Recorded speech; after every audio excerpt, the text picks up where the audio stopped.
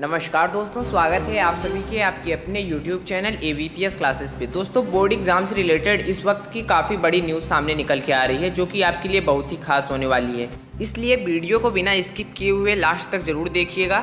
अगर उससे पहले आप मेरे चैनल पर नए विज़िट कर रहे हैं तो चैनल को सब्सक्राइब कर लें बेल नोटिफिकेशन ऑल पर प्रेस कर दें, ताकि बोर्ड एग्ज़ाम से रिलेटेड जो कोई भी न्यूज़ हो, आपको सबसे पहले आपके अपने channel A B P S classes के थ्रू मिलती रहे। तो चलिए आपका टाइम ना वेस्ट करते हुए सीधा टॉपिक पे चलते हैं। सारी अपडेट आपको बता देते हैं। जैसा कि फ्रेंड आप स्क्रीन पे देख पा रहे होंगे कि पंजाब में दसवीं और बारहवीं की बोर्ड एग्ज़ाम रद्द नई तारीखों का हुआ ऐलान। जी हाँ फ्रेंड्स कोरोना महामारी के कारण फिर से पंजाब बोर्ड में एग्ज़ाम को एक महीने आगे बढ़ा दिया गया है।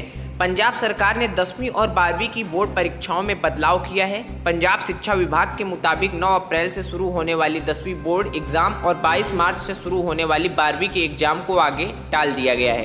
इन एग्ज़ाम की नई तारीखों का घोषणा भी कर दी गई है। राज्य शिक्षा विभाग के मुताबिक पंजाब ने दसवीं बोर्ड एग्ज़ाम 4 मई से 24 मई तक आयोजित किए जाएँगे। वहीं बारहवीं के बोर्ड एग्ज़ाम 20 अप्रैल से लेकर 24 मई तक आयोजित किए जाएँगे।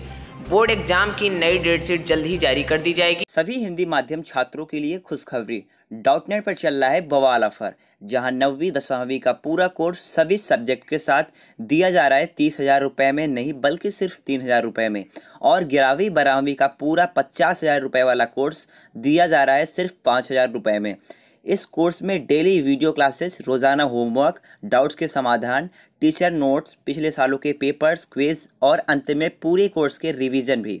इन सभी कोर्स का लिंक डिस्क्रिप्शन में दे दिया गया है। एक और मज़े की बात, इस लिंक पर जाकर अगर आप एवीपीएस का कूपन कोड लगाते हो तो पाँच सौ रुपये का और भी आप छूट पा सकते हो।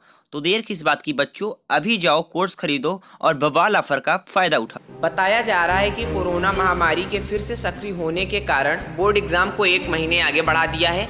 राज्य में बारहवीं की परीक्षाएँ पहले 22 मार्च से शुरू होनी थी, अब 20 अप्रैल से शुरू होंगी। दसवीं के एग्ज़ाम 9 अप्रैल से शुरू होने थे, जो अब 4 मई को आयोजित होंगे। हमें उम्मीद है कि यह वीडियो आपको पसंद आई होगी। वीडियो को पसंद आने पे चैनल को सब्सक्राइब कर लें, बिल नोटिफिकेशन ऑल पे प्रेस कर दें, ताकि बोर्ड एग्ज़ाम से रिलेटेड जो कोई भी न्यूज़ हो तो आपको अपने चैनल ए क्लासेस के थ्रू मिलती रहे। आपने वीडियो को देखा, इसके लिए आपका बहुत बहुत धन्यवाद। तो मिलते हैं किसी नई अपडेट के साथ। तब तक के लिए आप अपना ध्यान रखिएगा। भगवान करें आपका दिन शुभ हो।